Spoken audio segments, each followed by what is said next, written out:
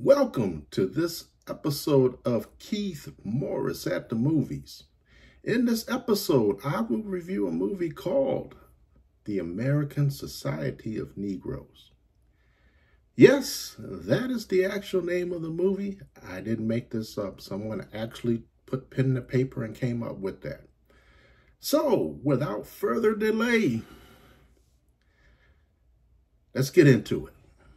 And you might ask yourself, what is a magical Negro? Well, the magical Negro is a motif. It's an actual thing. It's a concept, if you will.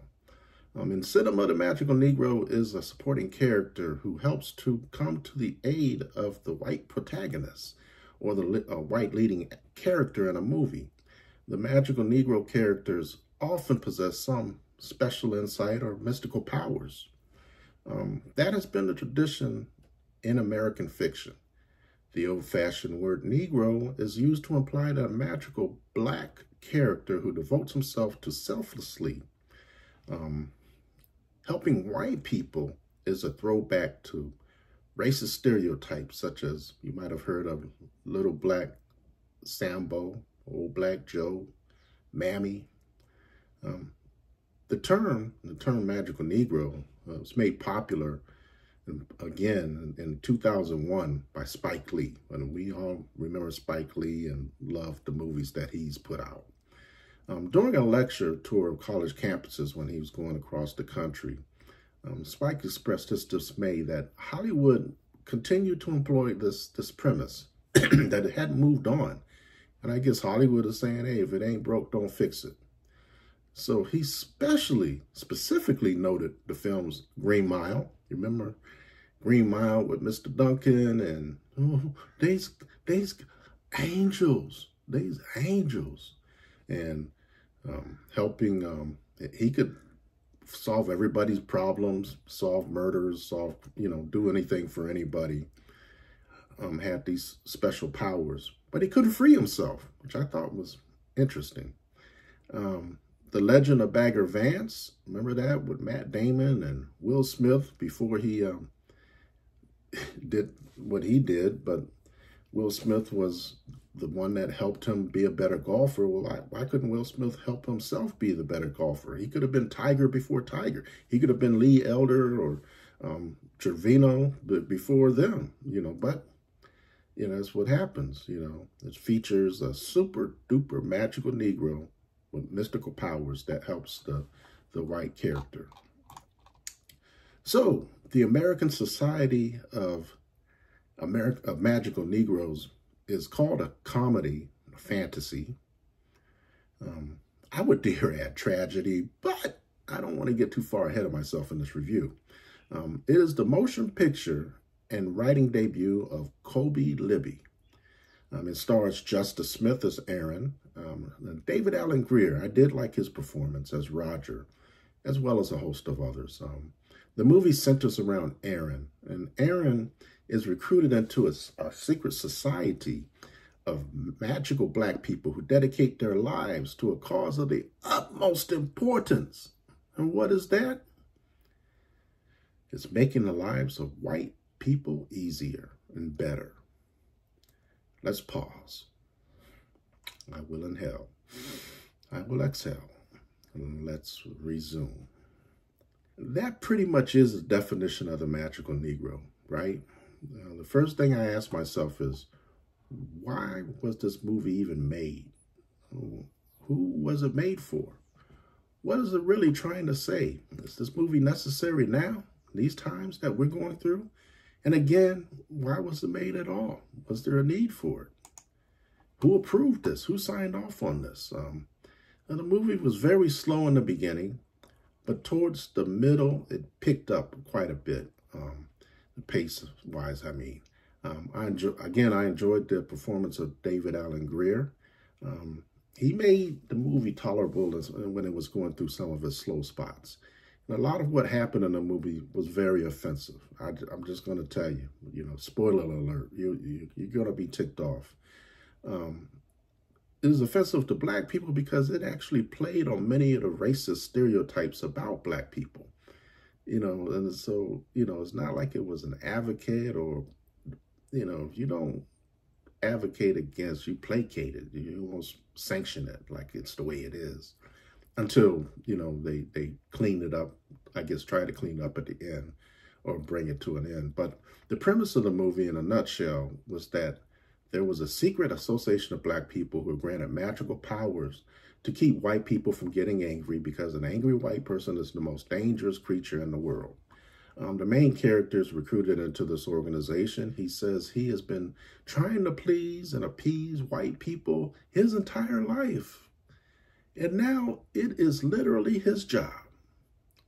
Oh, I guess he was in heaven. Um, he falls for a woman who looks white, but they let you know in the movie that she's she has some ethnicity. So I call it the generic ethnic other.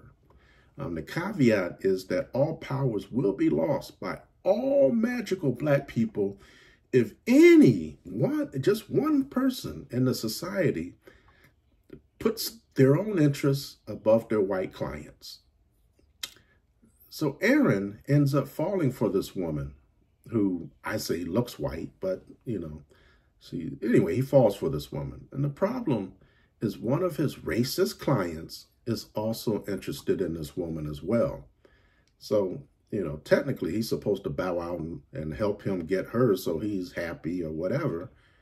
Um, and, and here's a spoiler alert, if I haven't told you too much already, if you haven't seen it. Um, Aaron chooses this woman over his society. He ends up coming of age, determines there is a space for him on this planet, and that it is not his responsibility to make people who are uncomfortable with him feel better. In a nutshell, man joins a black society of sellouts. He sells out the sellouts for a woman who looks white, comes of age as a man, stands up for himself, and lives happily ever after. Okay, let's talk about this. When a subject like this is taken on, you have to be spot on. You know, you, you have to hit the target. Um, American Fiction did this for me, and that's why I thought that's one of the best movies I've ever seen. Um, it tackled a different subject masterfully, using irony and satire, comedy, um, to get its point across. Didn't hit you over the head hard, but it, it, it got its point across in subtle ways. Um, this movie, I think, attempted to do something similar, and it failed, and the failure was epic. Um, this, this movie had a lot of potential, I believe, but it went for cheap laughs and silliness and fell short of what I believe the writer intended it to do. So I think I understand where the writer was trying to, to do as a matter, you know, you look at it, you're like, what, what was he trying to say, Keith? And I would use my real life example of what I believe the, the writer was trying to convey, the whole premise of this movie. Um, so it was the mid 1980s. Um, I was in the United States Air Force. Um, I was leaving Keesler Air Force Base and um, tech school in, in Biloxi, Mississippi to go back home to see my parents in Chesapeake, Virginia. I missed Christmas. I had a very long tech school. And so I was excited to, to to get home after basic training and tech school. So I flew out of Dallas Fort Worth Airport, caught a um, um, bus, caught the bus to to from Biloxi to to Texas, and I remember it, it was a Delta flight because I have never flown Delta since. Um, I was wearing my Class A's, you know, my dress blues, looking sharp because I wanted to impress my mother. Um, and so while boarding the plane, this white guy was sitting in my assigned seat. And so I politely showed him my ticket and told him he was in my seat. And he just stared at me. And so I'm trying to get home. You know, I'm not trying to start a commotion. I'm not trying to yoke him up out the seat. So I go to the stewardess, you know, try to do the, the, the respectable thing and told her what was going on. And so she looked looked at the guy and said, and asked him to, to leave, to move to his seat. This joker turned his head and ignored her like she was nothing. And so, you know, she called security. They yoked the guy off the plane. And no, that's not what happened. She looks at me tearfully, beat red, and inconvenienced me. ask me, can you just wait in the aisle? And, you know, it, there's this flight isn't full. So if there's an empty seat, you can take it then. And I just looked at her and I, and I was like, and I really didn't want to do it. And, you know, she was like, oh, I'll give you drinks. And, I'll, and she was selling it on me. And I just said, what, whatever. But I was bothered. And I sensed it was racially motivated. And I think she did too. And that's why she was nervous and acting the way she was. And, you know, everybody was uncomfortable except for that bigot. And so this guy kept turning around and looking at me. And he had this smirk on his face, a little smile, a little smirk. And it angered me. And I think he knew it. And so he kept doing it. Because, you know, I'm in this aisle and I'm uncomfortable and I'm making other people uncomfortable because they're walking by me and I got to step out the way. And finally, um, you know, this white woman um, chastised me, talked to me like I was less than dirt, you know, told me to get out the way, move out the aisle. And why don't I sit in my own assigned seat? What am I doing? I'm holding everything up. And so I politely told her that that guy right there is sitting in my assigned seat and he refuses to move. And the stewardess is not, you know, told me to wait and find another seat. So I have to wait for everybody to sit down until, you know, I could find my seat.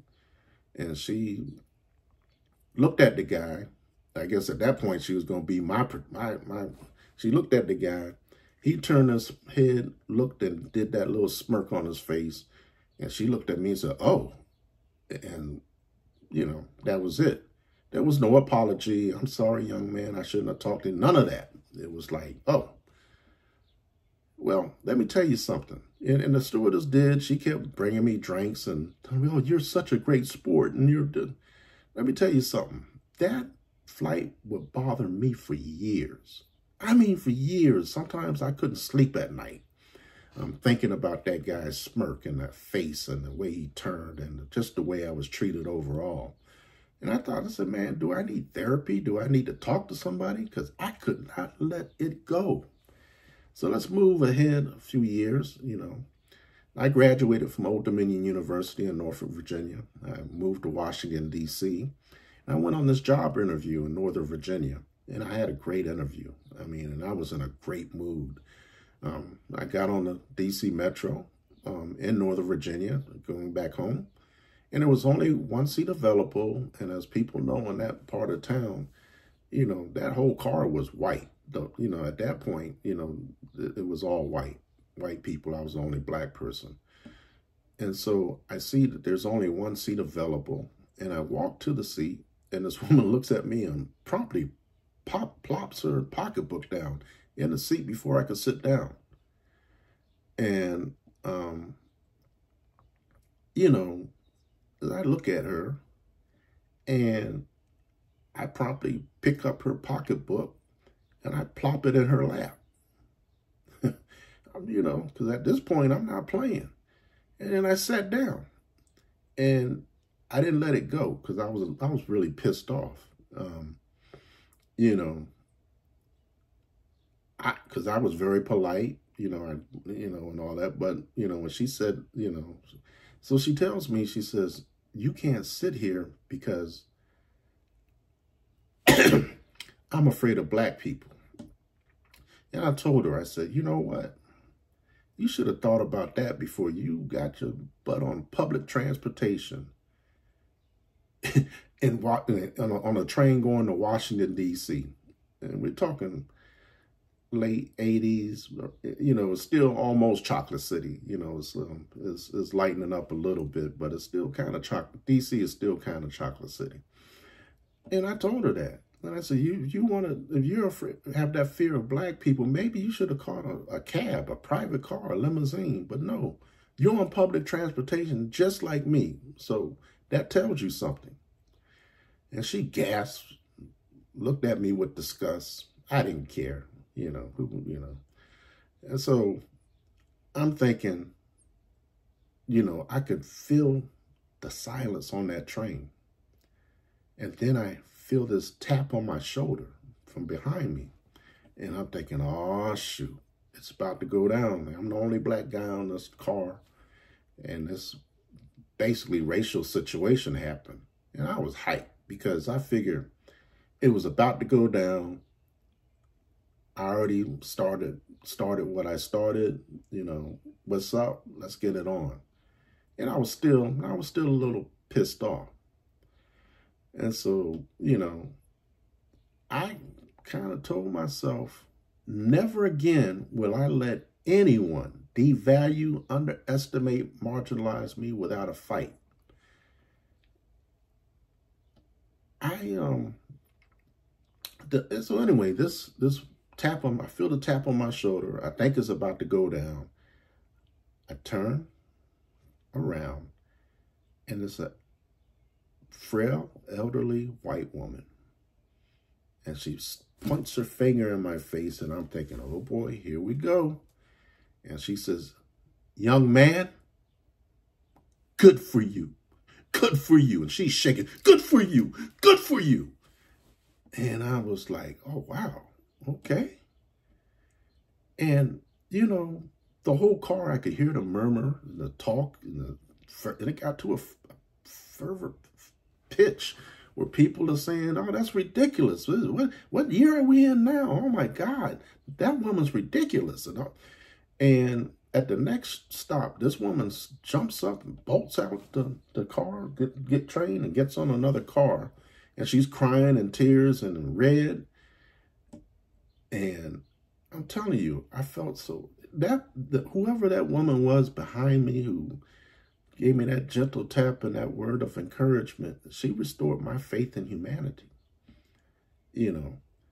But at that point, you know, I I wasn't going to allow myself to be put through anything anymore.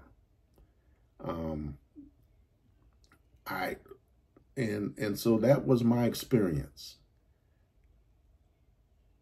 I sleep well because I refuse to compromise who I am for anybody. Now, I'm not saying fight all the time. You'll be fighting every microaggression, that's it. But there's there's a time when you're going to have to stand up for yourself because if you don't, nobody else will. I think people were waiting around to see how I was going to react before they reacted. Um, I believe that that is what this movie was trying to say. Um, that many times we as black people in white spaces are expected to appease white people, move out of their way, do things to accommodate them, make them feel comfortable when they are uncomfortable. You're in the elevator and a white woman clutches her pocketbook. You tell a stupid joke or whatever because you're a big black guy and you want her to feel good. Nah, that ain't happening. I don't grin when it's not funny. I don't scratch when I don't itch. And I don't shuffle when I could walk with a perfect gait.